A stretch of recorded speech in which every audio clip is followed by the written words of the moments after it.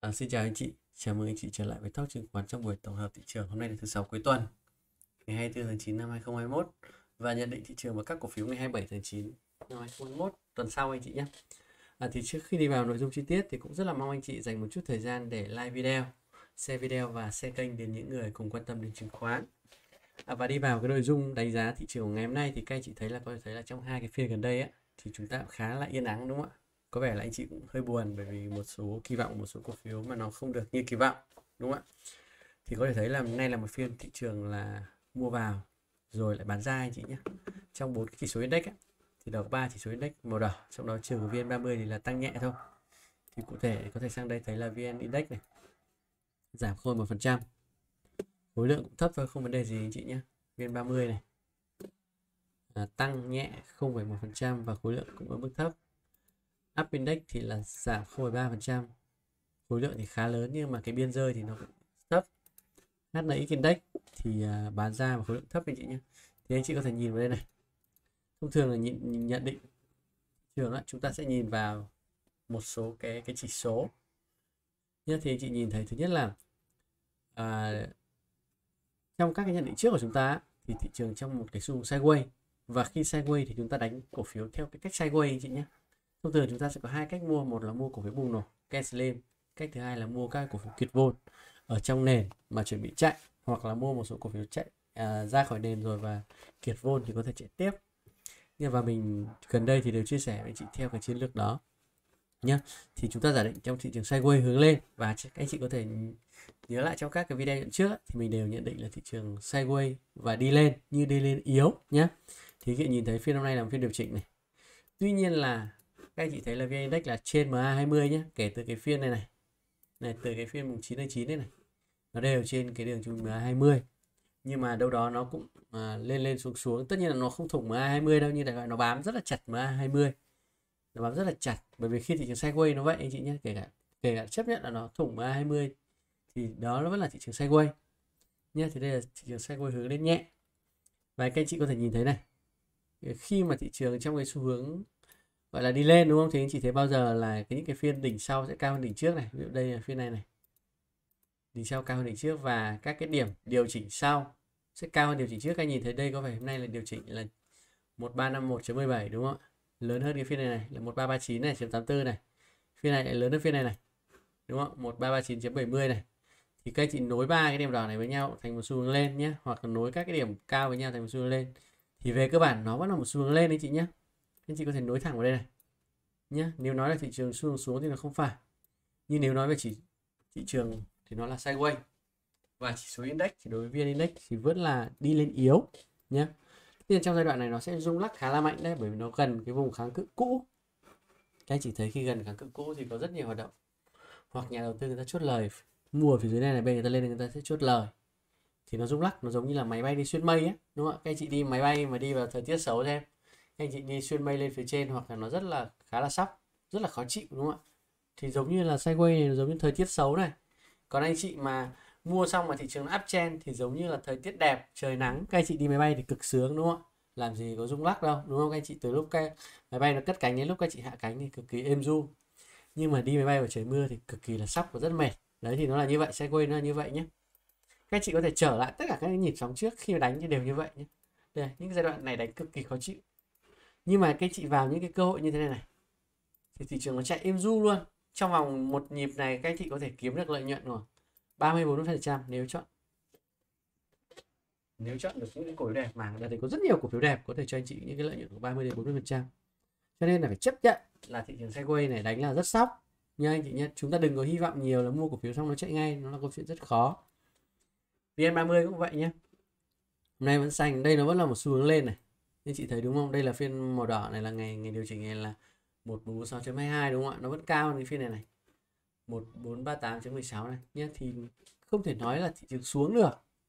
Không thể nói được nhé mặc dù có cái sự phân hóa cổ phiếu và ở một số dòng cổ phiếu có sự phân hóa, nhưng thị trường ở đây là vẫn xu hướng đi lên yếu nha anh chị nhé thì mình vẫn chia sẻ với anh chị cái quan điểm á, là thị trường sideways đi lên yếu nhé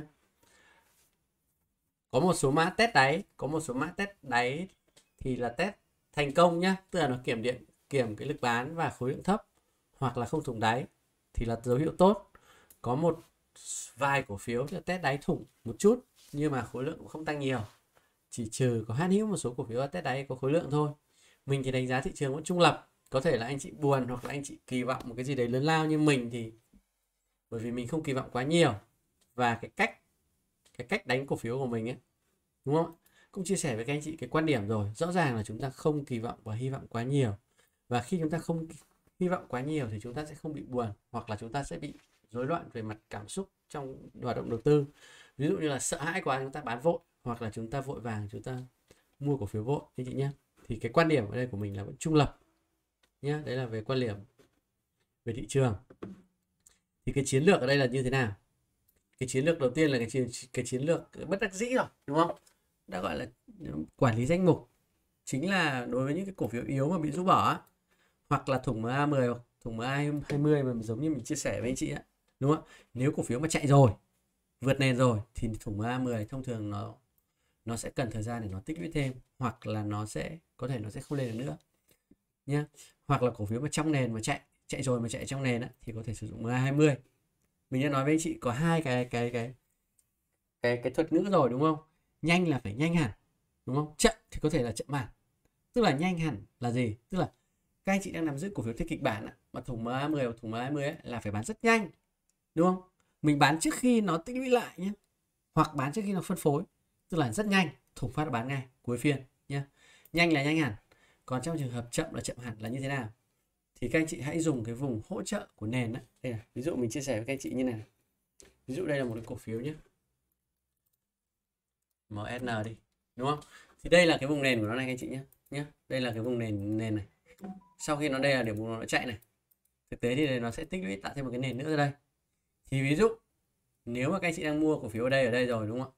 Thì bán nhanh là nhanh hẳn. Thì là sao? Tức là nếu thủng MA10 thì phát các anh chị, các anh chị bán. Cuối phiên nhé đúng không? Hoặc là các anh chị chơi theo kiểu chậm và chậm hẳn. Thì các anh chị hãy dùng cái vùng này này. Đúng không? Nếu chơi khô máu là phải dùng hẳn cái vùng này này. Đấy. Nhanh là nhanh hẳn, nhanh là bán ở đây. Mà chậm hẳn là bán ở đây. Như thế. Tức là nếu anh chị bán ở trên này là bán trước khi cổ phiếu tích lũy lại hoặc phân phối. Tức là sau khi nó thủng A10 thì có thể nó vẫn lên được. Có thể nó sẽ mất thời gian để nó đi ngang, xong nó mới lên được. Hoặc là nó có thể rơi. Thì nếu các anh chị dùng MA10 hoặc dùng MA20 bán theo cách chia sẻ của mình này tức là bán rất nhanh đúng không? Còn một số anh chị mà mua ở tận cái vùng check out này các anh chị bảo tôi quyết tâm là không thể bán cổ phiếu này bởi vì tôi có niềm tin là nó sẽ lên. Thì ok thì anh chị dùng hẳn cái vùng này đi. 127 này, này đúng không? 100 bao nhiêu này? 127.6 này, này các anh chị bán ví dụ thế. Thế giới đạo di động nha mình được ví dụ đây thế di động thế đúng không? Đây là cái vùng vùng nổ này đúng không? Thì các anh chị như này thì nó cứ trên M10 A10 thì các anh chị cứ nắm giữ thôi. Không phải gì phải bán cả. Đúng không? mình chẳng có lý do gì phải bán nhé nhanh thì là nhanh hẳn mà chậm là chậm hẳn. Đấy là chia sẻ quan điểm với anh chị nó rất là rõ ràng nhé nó không có gì là nó mập mờ cả, hoặc không có gì gây khó hiểu cho mọi người cả. Thì đấy là cái quan quan điểm đầu tư nhé quản trị danh mục và bán các cổ phiếu bất đắc dĩ, bị ép bán hoặc bị rũ vào nhé đấy là cái nhất. Cái thứ hai là đối với các cái cổ phiếu mạnh, các cái dòng cổ phiếu mạnh mà các anh chị có vị thế và có lợi nhuận thì các anh chị cứ giữ thôi không có vấn đề gì cả. Nha thậm chí là chúng ta vẫn có thể mua được những cổ phiếu kiệt vốn tích lũy và đẹp. Nha mình cũng chia sẻ quan điểm nó rõ ràng như thế. Thị trường có thể ở phiên này nó không tăng thì nhưng cũng không cần phải buồn gì cả đúng không ạ? Trong lúc mọi người người đang buồn thì mình phải là người có cái sự tỉnh táo để mình mình mình, mình nghiên cứu cái chiến lược đầu tư. Chứ mình cũng thả thả buông mình cũng thả trôi đúng không ạ? Mình cũng chán nản. Thế lúc thị trường nó hồi chúng ta mới quay lại chúng ta mua thì chúng ta sẽ bị chậm đúng không ạ? Đấy là quan điểm của mình là luôn luôn giữ cho trung lập nhé. Mình không muốn phân tích cho các anh chị quá dài dòng trong cái việc là nhận định thị trường trong tương lai, tuần sau, tháng sau như thế nào nhá. Có rất nhiều cách có thể thể thể phân tích và suy luận, diễn giải được. Nhưng mình muốn cho anh chị giữ một cái nhìn trung lập. Bởi vì nếu anh chị đặt cược cho một cái xu hướng lên, thì anh chị sẽ có cái khuynh hướng là không bán cổ phiếu. Hoặc là nếu anh chị nghĩ rằng là xuống thì các anh chị sợ hãi, không dám mua nhá. Thì đối với thị trường chung này, mình sẽ đi theo cái quan điểm là nhận định hiện hữu thị trường và cái cân bằng của thị trường theo hướng đi lên hay hướng đi xuống. Anh chị nhé. Trong giai đoạn này thị trường chưa đi lên cho nên là cái phiên rũ bỏ như thế này là chuyện rất bình thường. Bởi vì nó là rũ bỏ những nhà đầu tư cá nhân nhỏ lẻ, đúng không ạ? Làm gì có cái hoạt động kiếm tiền nào mà chúng ta cứ mua vào nó lên. Tất nhiên là nếu anh chị mua vào những cái điểm như thế này này, thì là có nhé. Sau khi nó rũ bỏ, khi mà thị trường nó dập dìu như thế này anh chị nhé thì giống như nó, tiêm vaccine cho anh chị hôm trước mình có làm hẳn một cái cái cái cái nội dung mình nói rồi, đúng không? Khi mà nó dập dìu dập dìu dập dìu, các anh chị chán, quá chán, rất chán, chứng khoán rồi. Cảm thấy chán thị trường chứng khoán. À thì lúc đấy nó lại là đi lên anh chị nhé nó lại đi lên. Bởi vì nó tiêm cho các anh chị một cái liều vaccine là thị trường chứng khoán quá chán, đúng không ạ? Còn khi các anh chị thấy thị trường lên mà kiểu gì nó không rơi, các anh chị mua đây không rơi, mua đây không rơi, như thế, thì là lúc các anh chị sẽ bị bị hẫng bởi vì các anh chị cũng đang dính một cái liều vaccine đó là vaccine thị trường đang lên. Và chúng ta cảm thấy là quá là tự tin với thị trường thì thì, thì thị trường nó sẽ rơi. Còn khi thị trường mà nó chưa lên như thế này được thì nó cũng là bình thường anh chị nhé. Các anh chị thấy có thể có những mã rút bỏ nhưng nó rút bỏ cũng đâu có quá nhiều đâu đúng không? Nó chỉ lên men ở cái vùng ở cái vùng hỗ trợ bên dưới thôi chưa phải vấn vấn đề nhé. Hôm nay sẽ nói nhiều về cái, cái, cái cách tiếp cận của thị trường một chút. Mình thì không đi phán đoán bởi vì muốn cho anh chị trung lập nhé. Chúng ta vẫn có thể mua các cổ phiếu kiệt vốn tích lũy dòng đẹp nha vẫn có thể vẫn có thể nhé. À, đối với cái chỉ số này này chỉ số cái số lượng cổ phiếu tốt á, thì các anh chị thấy là vẫn tiếp tục có sự sụt giảm nhé. Mặc dù ờ, điểm số bình quân của nó thì nó vẫn trên MA10 và trên MA20 các anh chị thấy đây cái đường ngang này, này nó vẫn trên đường xanh và đường đỏ nhé. Vẫn trên MA10 vẫn MA20 tuy nhiên số lượng cổ phiếu tốt có sự sụt giảm một chút do là nó phân hóa. Một số dòng cổ phiếu nó bắt đầu yếu đi. Một số dòng cổ phiếu thì vẫn đẹp hoặc là tích lũy lại thì nó có sự phân hóa thì đó là điều mà chúng ta cũng có thể hiểu được. Về các cái nhóm ngành mạnh thì các anh chị nhìn thấy này. À, rất nhiều cái cổ phiếu ở các cái nhóm ngành mạnh hơn thị trường chung thì cũng bị điều chỉnh rất là nhiều các anh chị nhìn thấy này đúng không? Hai phiên trước chúng ta nói rồi thị trường mặc dù đây hai phiên này này hai phiên này thì thôi nhưng mà rất nhiều cổ phiếu bị bán ra đấy nhé anh chị có thể nhìn thấy này. Các ngành của nó này dịch vụ tài chính này lên rồi gặp xuống này đúng không ạ? Bán lẻ này, bảo hiểm này đi ngang gặp xuống này khai khoáng gặp xuống này gặp xuống gặp xuống gặp xuống gặp xuống gần như rất là nhiều mã gặp gặp xuống. Nhưng mà những cái dòng mà mạnh hơn thị trường chung là những cái dòng mà anh chị có thể có giữ cái quan điểm quan sát được nắm giữ cổ phiếu được nhé thực phẩm này có phải trên đúng không ạ? Bất động sản này thép này cũng vẫn trên nhá trên vn index đấy máy công nghiệp này thiết bị điện này, dầu khí này, công nghệ này, banh này, đấy là những cái nhóm cũng mạnh hơn rồi. Tất nhiên là phải tùy cổ phiếu nhá. Chúng ta chỉ có thể nắm các cổ phiếu kênh trên xu hướng lên thôi, không mua các cổ phiếu yếu và không nắm các cổ phiếu kênh dưới. Bảo hiểm là dịch vụ tài chính này, nó là những cái dòng mạnh hơn, cao su nữa và liệu xây dựng nữa, xây dựng.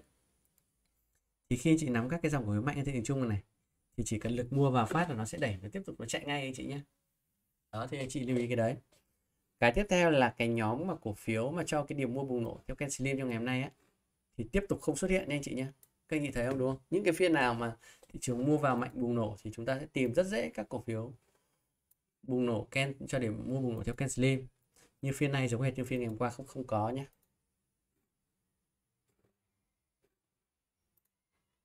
cái này không có anh chị nhé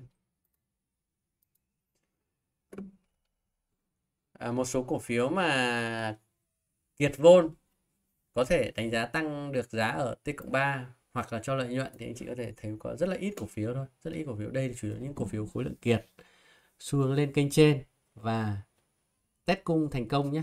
Thì các anh chị thấy có đây là có HVN này. HVN là cũng test cung đấy nhé.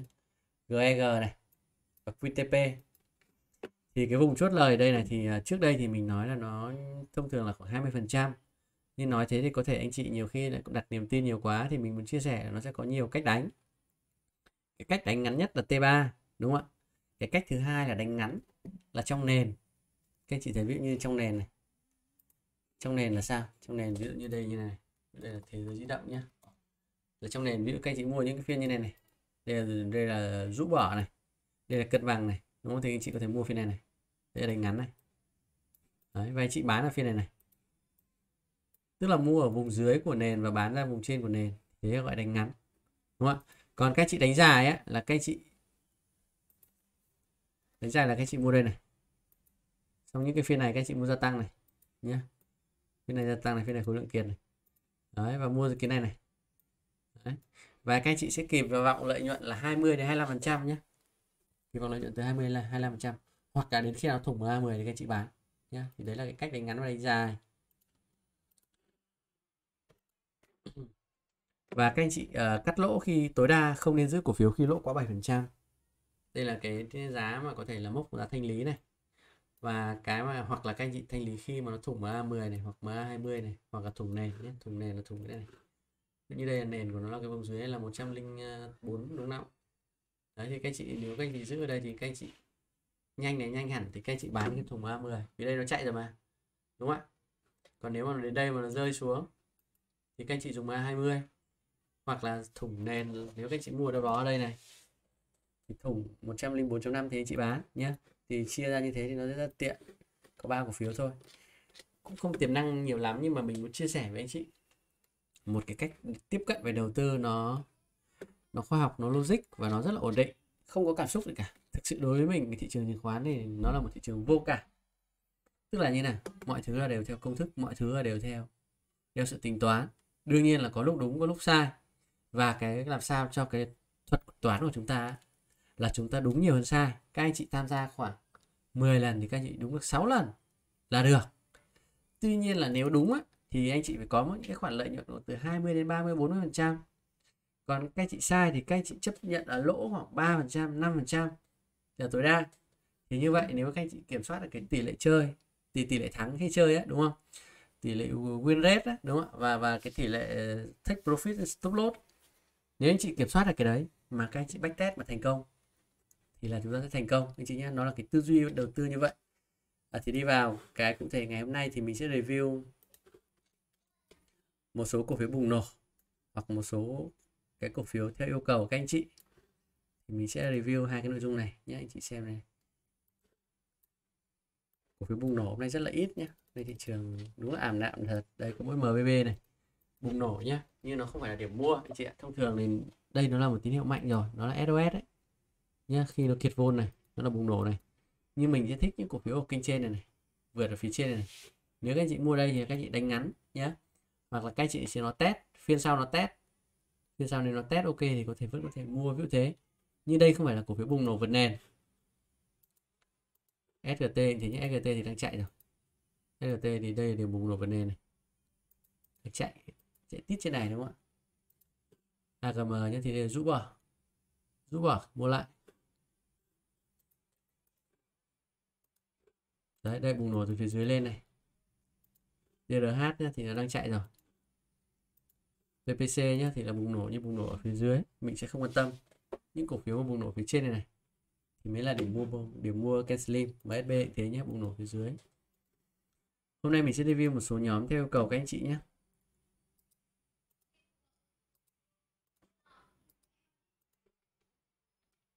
mình sẽ review khoảng 10 cổ phiếu bất động sản. Các anh chị thấy TDH đang chạy này. À, hôm nay là Uptrust này. Hôm qua các anh chị thấy nó chạy chạy chạy chạy đúng không ạ? Xong rồi như thế này là nó đang có. Các anh chị đừng có nhìn đây các anh chị bảo là mua vào nhiều quá có khối lượng này là sướng quá đâu nhá. Cổ phiếu đang chạy á. Khối lượng nó ít là đẹp nhất.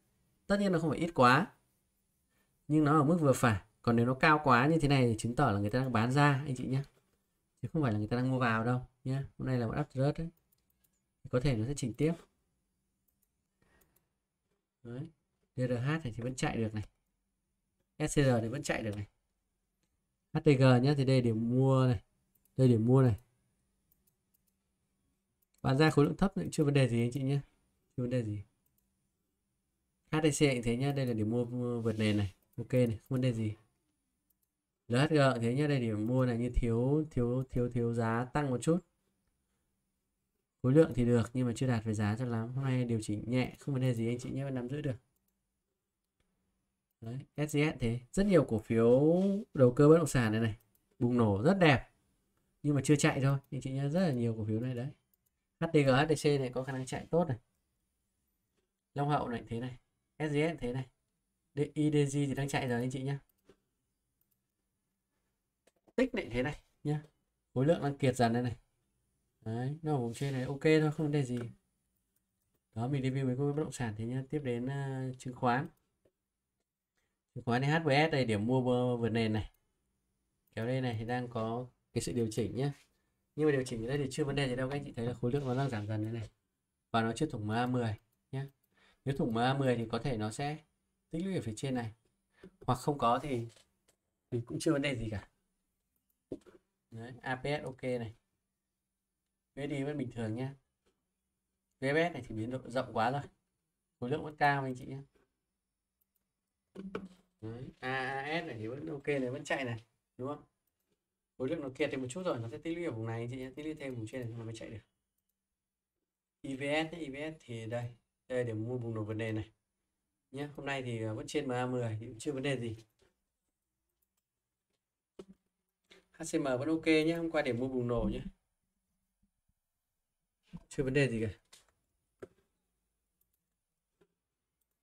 Nói chung một dòng uh, chứng khoán này thì vẫn chưa vấn đề gì anh chị ORS thì nhé nó vẫn trong nền thôi. WS này thì bùng nổ vượt nền nó vẫn đang chạy nhé đấy. Cổ phiếu này thì trong nền nhé trong nền chưa vấn đề gì cổ phiếu VDS này thì là bùng nổ này, vượt nền này. Thì đang điều chỉnh là tích lũy thêm thôi anh chị nhé, chưa vấn đề gì cả. Nó sẽ tích lũy ở phía trên này. Đây, vẽ lại phía trên này đi cho nó chính xác. Nó hình thành một cái nền mới ở đây này. Đấy. Chưa vấn đề gì nhé SBS thế nhá, đây vẫn trong nền thôi. Còn nếu anh chị bảo nhanh nhanh hẳn, đúng không? Nếu nhanh là anh chị phải bán ở những phiên này rồi thùng 20 phải bán ngay đúng không ạ?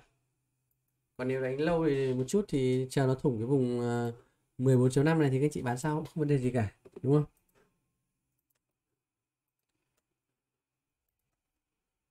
BVS trong nền nhé những cổ phiếu như này trong nền này.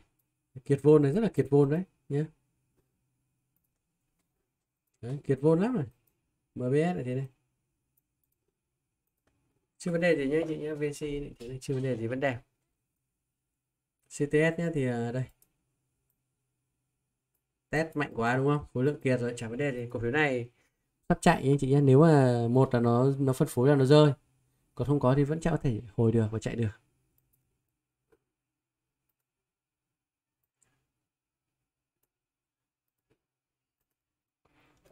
Nói chung dòng chứng khoán này đa phần là vẫn trong nền anh chị ạ. Trong nền hết.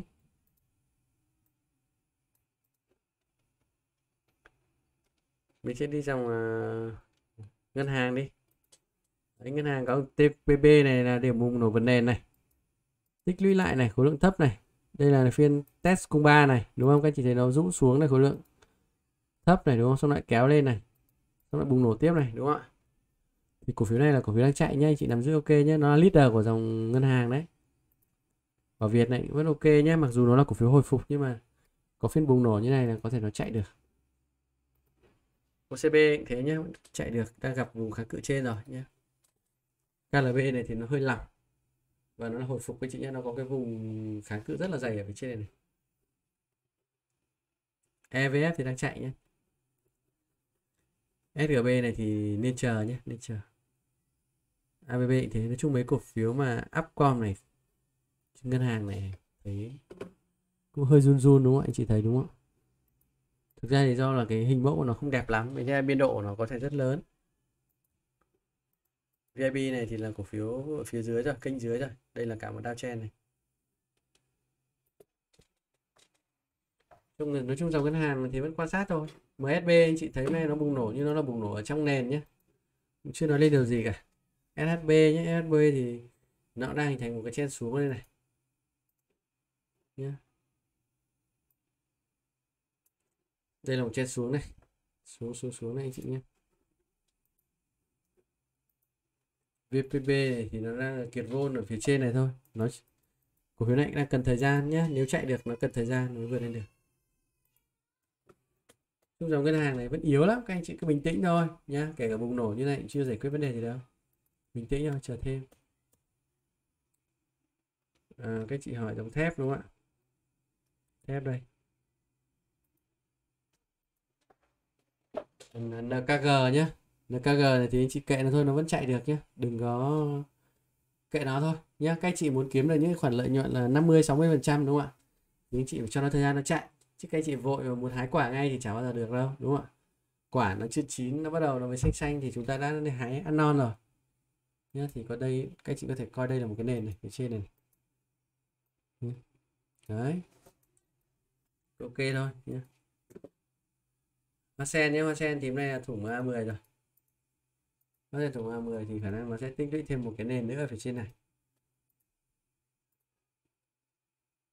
Chị em nó sẽ khả năng tích lũy vùng trên này. Chúng ta cần quan sát thêm.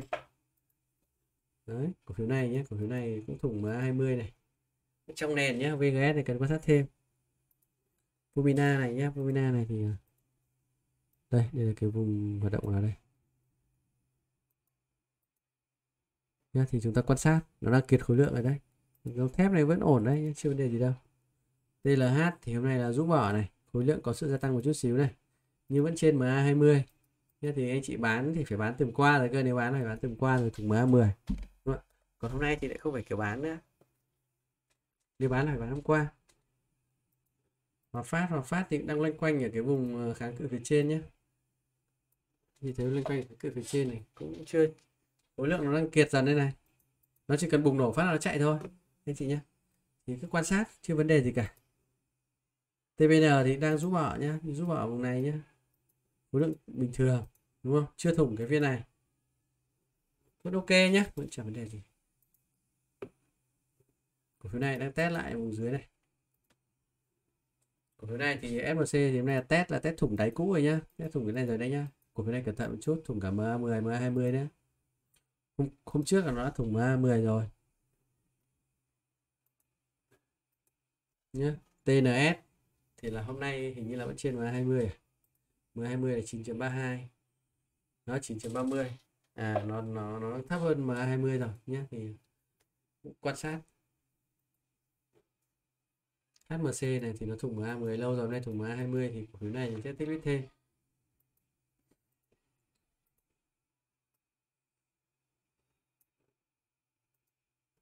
Đấy cổ phiếu này rút bảo ở dưới này. Có thể nếu rút thùng nó lại rơi tiếp đấy.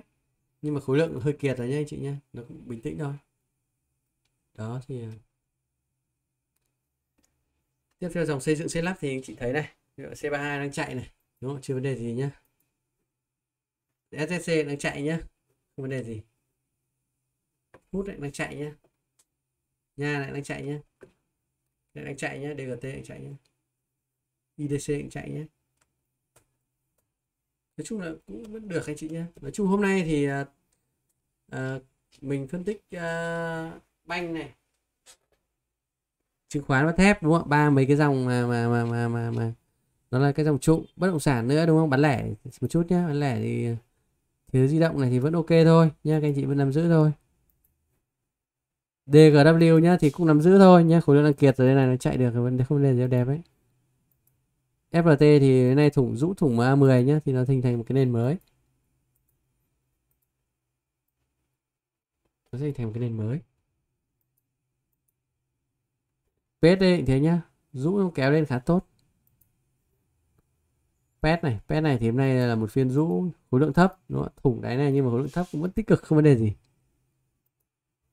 Đó ok đó là các cái phân tích và nhận định thị trường ngày hôm nay chị nhé các anh chị mà có cái nhu cầu phân tích các cái cổ phiếu yêu cầu á thì các anh chị à, vui lòng comment. Chắc là tối mai mình sẽ live stream để chia sẻ giải thích với các anh chị kỹ hơn về một số cái cái cách tiếp cận đầu tư và đầu cơ.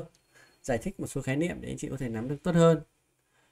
À, và cũng à, kiểm chứng lại mình sẽ là kiểm chứng lại các cái cổ phiếu mà mình cũng chia sẻ cũng như khuyến nghị với các anh chị trong thời gian qua nhé. Cứ chắc một tuần một lần thì mình sẽ kiểm chứng lại các cổ phiếu mà mình đã khuyến nghị ở tuần trước hoặc là chia sẻ cho các anh chị ở tuần trước. Để làm gì? Thứ nhất, để các anh chị đo lường lại xem cái kết quả ra sao. Là cái thứ nhất. Cái thứ hai là cái cái thứ hai là sẽ giúp chúng ta có cái niềm tin hơn trong cái việc mà chúng ta xây dựng một cái cách thức tiếp cận vấn đề và một cái cách thức giải quyết vấn đề đối với cái bài toán à, đầu tư chứng khoán. Ngoài ra thì trong cái khóa học K3 thì à, trong tuần này thì thứ bảy và chủ nhật thì mình sẽ cài đặt các cái phần mềm AMI cho các anh chị. Anh chị nhé thì các anh chị có comment nào hoặc là có, có yêu cầu giải đáp nào thì vui lòng comment phía dưới video á. Mình sẽ giải đáp kỹ hơn. Thì hy vọng cái bản tin hàng ngày của Talk chứng khoán cũng đem lại một số cái ý nghĩa trong cái hoạt động đầu tư chứng khoán của các anh chị. À, các anh chị uh, vui lòng like và share video để gọi là ủng hộ ở kênh phát triển hơn nữa. Các anh chị đừng quên subscribe kênh và nhấn nút quả chuông để nhận các cái bản tin mới nhất từ sắp chứng khoán. Ok, cảm ơn các anh chị. Chúc các anh chị cuối tuần vui vẻ.